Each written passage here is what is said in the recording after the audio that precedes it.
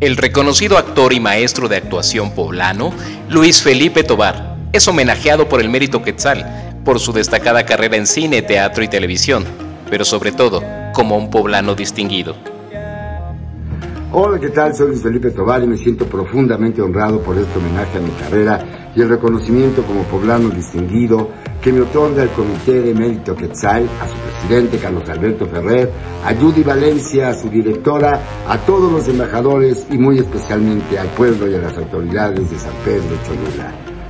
Cosa que les agradezco desde lo más profundo de mi corazón. La solemne entrega de este galardón se llevará a cabo en el encantador Teatro Ciudad Sagrada de la maravillosa ciudad de Cholula este próximo 18 de noviembre. Esperamos, no falte.